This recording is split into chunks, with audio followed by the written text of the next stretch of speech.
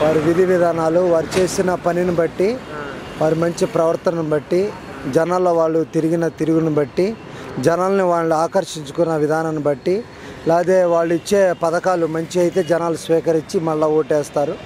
అది కాదని జనాలు తెలుసుకుంటే కనుక వ్యతిరేకంగా ఉండొచ్చు ఈసారి. వ్యతిరేకంగా ఉండొచ్చు దానికి. అంటే తెలుగుదేశం పార్టీ నుంచి వైఎస్ఆర్సీపీలోకి వెళ్ళారు కదా అదే కార్యకర్తలు కూడా వెళ్ళే అవకాశం ఉంది ఆయనతో పాటు. అది వాళ్ళ అభిష్టం మీద ఆధారపడి ఉంటుంది. మనం ఏమీ దాని గురించి మాట్లాడటానికి లేదు. ఎందుకంటే ఈ రోజున పార్టీ అంటే ఇటు నుంచి అటు అటు నుంచి ఇటు మారటం అనేది కామన్గా అయిపోయింది.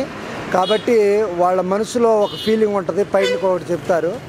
లోపల ఏదైతే అనుకుంటారో దాన్ని వాళ్ళు ఫైనల్ చేసుకుంటారు అనమాట అంతే. నెక్స్ట్ ముఖ్యమంత్రి ఎవరు వచ్చే అవకాశం ఉంది ఇక్కడ?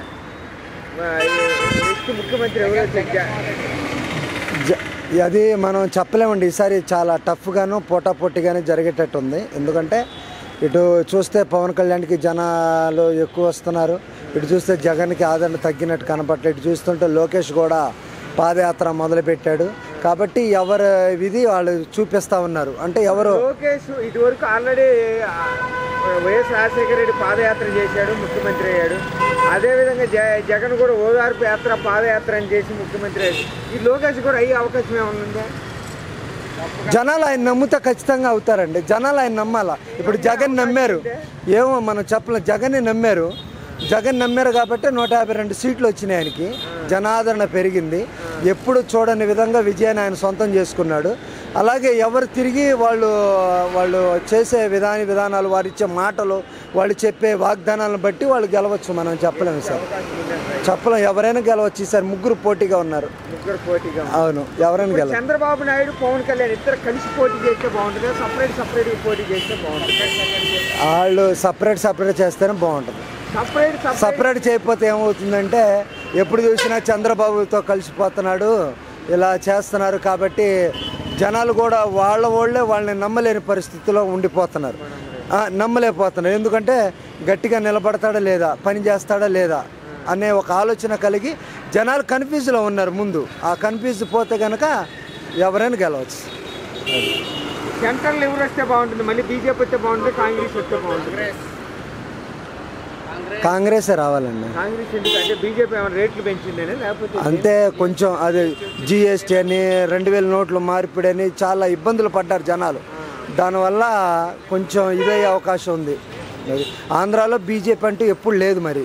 తెలంగాణలో అటు ఉందేమో కానీ మన ఆంధ్రాలో అంత ముందైనా తెలుగుదేశం కాంగ్రెస్ రెండే ఉన్నాయి. ఇప్పుడు వైఎస్ఆర్సీపీ తెలుగుదేశం ఈ రెండే అనమాట జగన్మోహన్ రెడ్డి చూస్తే బాగుంటుంది ఇద్దరు నాకు ఆ జగన్ అభిమానం అది జగన్ వస్తేనే. అంటే ఇప్పుడు చంద్రబాబు నాయుడు పవన్ కళ్యాణ్ ఇద్దరు కలిసి మరి జగన్ ఓడిస్తామంటారు ఇది వాళ్ళ ఇష్టం అది. ఓడిగలుగుతారా? వాళ్ళ ఇష్టం ఓడిగడితే ఓడిగలుగుతారు. వాళ్ళ అభిప్రాయం వాళ్ళది. తప్పే ఉంది. అది. నా అదేవిధంగా నే- ఇక్కడ చూస్తే గన్నవరంలో చూస్తే ఇప్పుడు ఎంపీ గారు ఆల్రెడీ వైఎస్ఆర్ తెలుగుదేశం నుంచి వైఎస్ఆర్ సిపిలోకి వెళ్ళారు మరి నెక్స్ట్ మరి గెలవగలుగుతాడు యాభగట్టను కాదని ఈయనకి టికెట్ ఇస్తే గెలవగలుగుతాడా? ఆ సత్తా ఆయన ఉంది. ఎవరికి? వంశీకి ఉంది. ఉంది. వంశీ గెలిచే అవకాశం. నెక్స్ట్? ఎవరు? అంటే వంశీ అంటే ఆ వంశీ గారు తెలుగుదేశంలో అయినా గెలుతాడు వైసీపీలోకి వచ్చిన అయినా గెలుతాడు. అది. ఎందుకంటే ఆయన వర్క్ వర్క్ వర్క్ కూడా మాకు చేస్తాడు. ఎంత జనాలకి బాగా సాయం చేయాలంటే ఆయన తర్వాతే. అది. చాలా మందికి బాగానే చేశాడు మళ్ళీ సెంటర్లో కాంగ్రెస్ వస్తే బాగుంటుందా? బీజేపీ వస్తే బాగుంటుందా? మోడీ వస్తే బాగుంటుందా? రాహుల్ గాంధీ కాంగ్రెస్ వస్తే బాగుంటుందా? కాంగ్రెస్ వస్తేనే బాగుంటుంది ఏం మోడీ వల్ల ఏమైంది? ఏం బాగా. ఏది ఏం చేస్తున్నాడు? అన్ని రేట్లు పెంచేస్తున్నాడు కదా గ్యాస్ రేట్ అయితే పెరిగింది. ఆ, అన్నీ పెంచేస్తున్నాడు కాంగ్రెస్ కాంగ్రెస్